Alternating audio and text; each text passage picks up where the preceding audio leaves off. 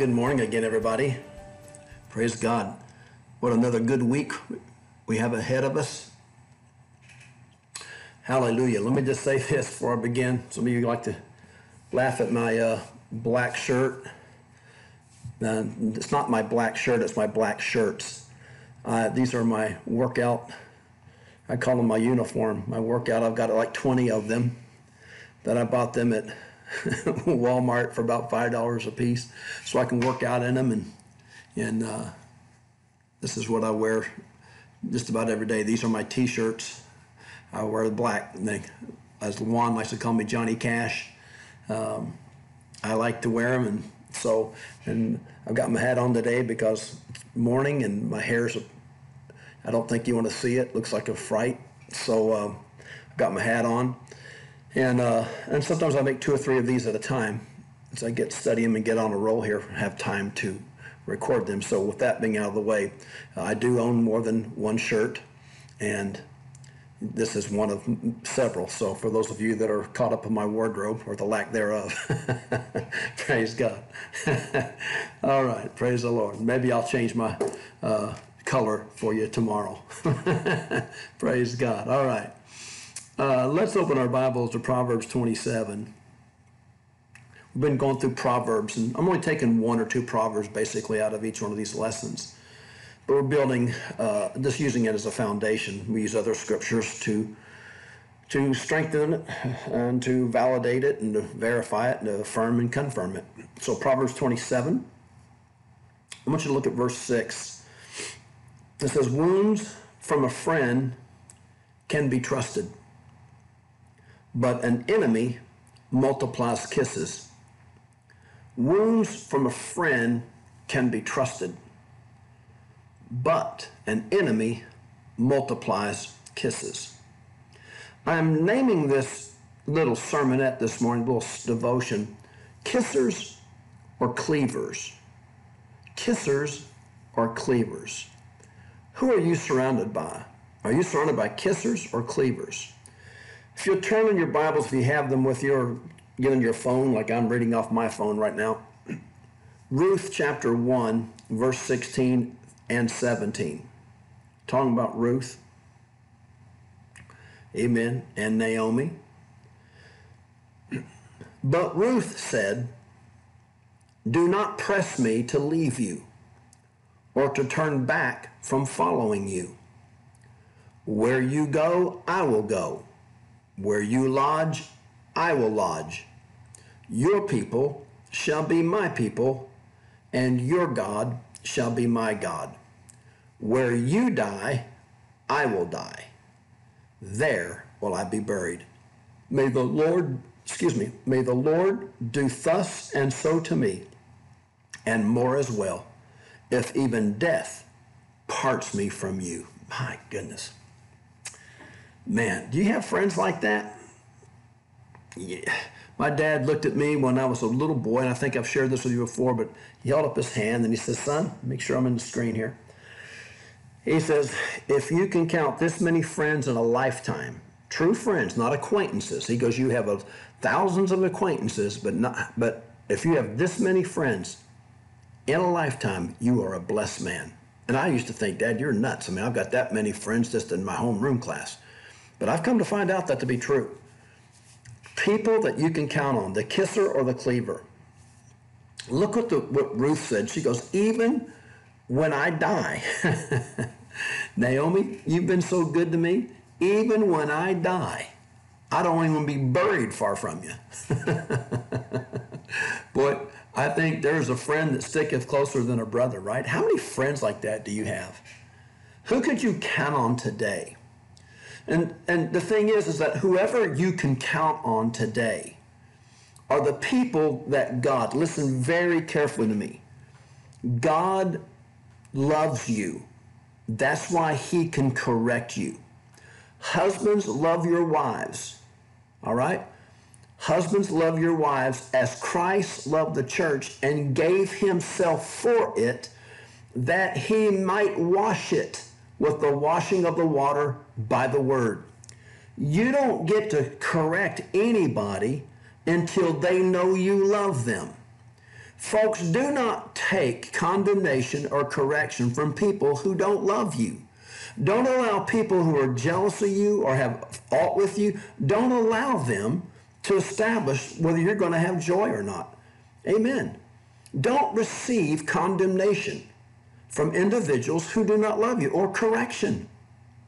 Now, if there's any truth to what they're saying, okay, if there's any truth, ask yourself the question, is there any validity to what they're saying? If there is, then okay. But realize this, God, the Bible tells us, you who are spiritual, restore people who have made graphic mistakes. Restore them with a spirit of meekness. A true friend doesn't bring railing accusation. A true friend is a person that loves at all times. A brother is born for adversity. I mean, this is the relationship that Ruth had with Naomi and Naomi with Ruth. I mean, Naomi took her in, and, and I'm telling you, Ruth was was so so gracious or so so uh, uh, grateful. Naomi was gracious, and Ruth was so grateful that she said, "Man, wherever I mean, she wouldn't lift a finger to hurt Naomi." If, if No Naomi was a, a serial killer, she wouldn't have raised a finger to hurt her. This is gratitude for people who have, who have been good to you and taken you in and loved you and been kind to you. A friend loves at all times and a brother is born for adversity. Look at Proverbs 27, 6. Wounds from a friend can be trusted because they love you so much that if they have to say something to you, they know it will hurt your feelings. They know it's not going to be pleasant. So when they bring it up, they won't have barbs on the end of it. They won't be they won't be malicious. They won't be there won't be any malice. There'll be no stinger, no toxin, no poison to it, no bite. Of course it's not it's not pleasant to hear things. It's not pleasant, but only people, this is why God, for God so loved the world. The only reason God has the right to correct them is because he loved them and gave something for them, gave someone for them. So I'll allow God to judge me, but the Bible says, judge no man. God's our judge. There's one, as Jesus or Paul said, there's one that judges me. Amen. There's one that judges me. I don't even judge myself. Praise God. Amen. Wounds from a friend.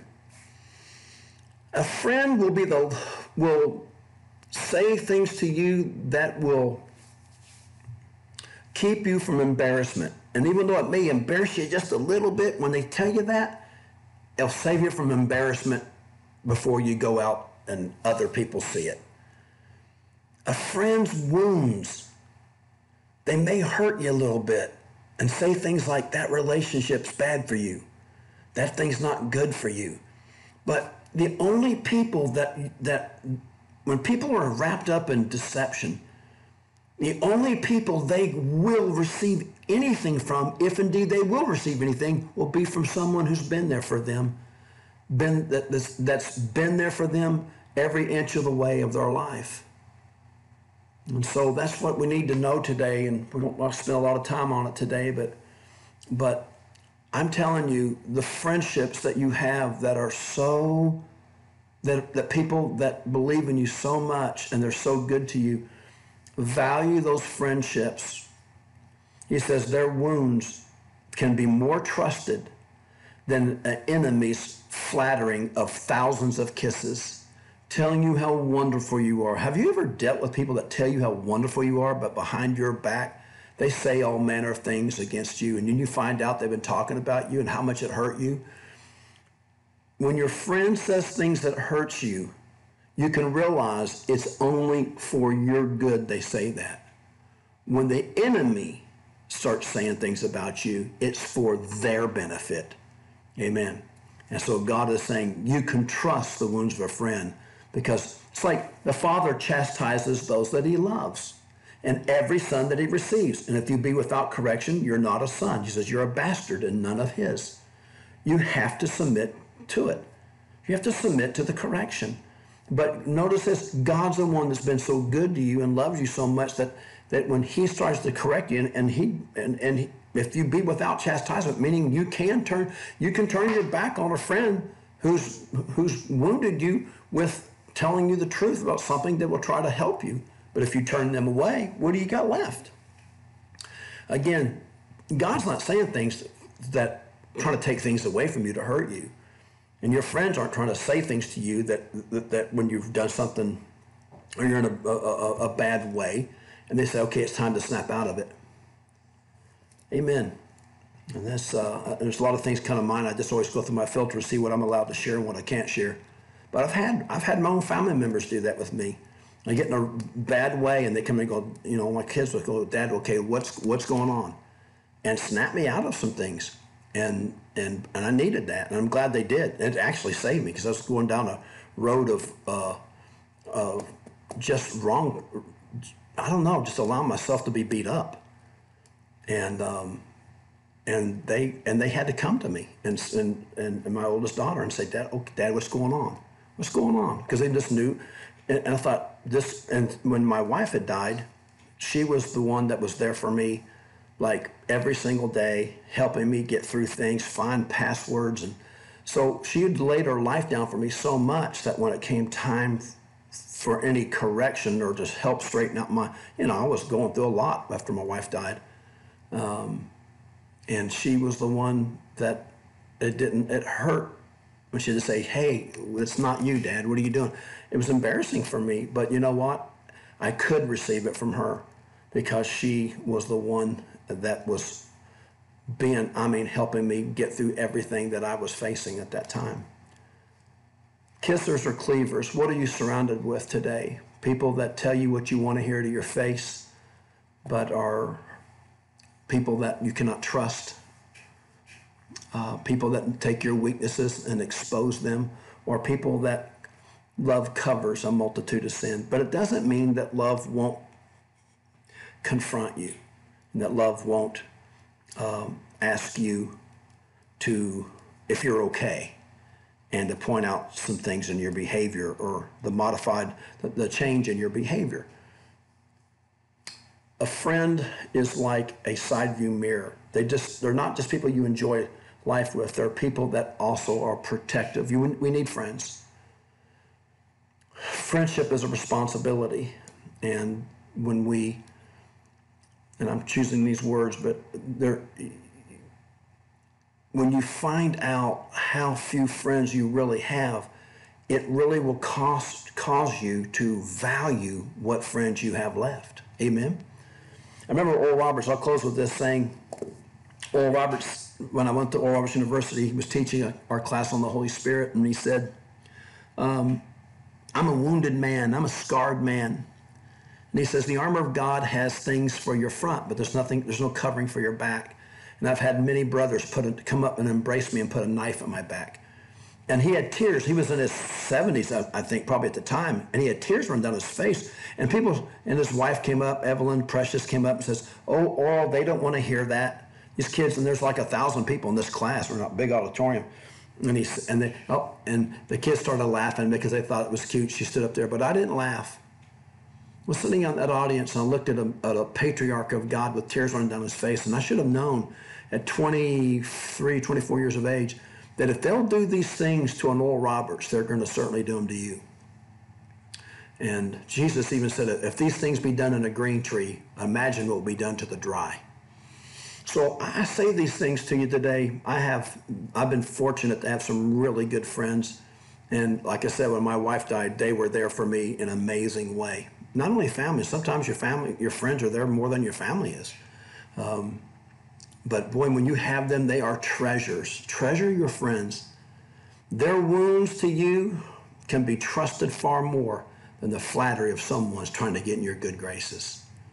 Appreciate who you have. Appreciate the friends you have. Tell them what a wonderful, tell them how much you appreciate them. Tell them how much you love them. Tell them how much you need them in your life. They are your side view mirrors. They're there for your entertainment, your joy, but they're also there for your protection. They've got your back. Amen. We love you. Have a great day in Jesus. We'll see you tomorrow.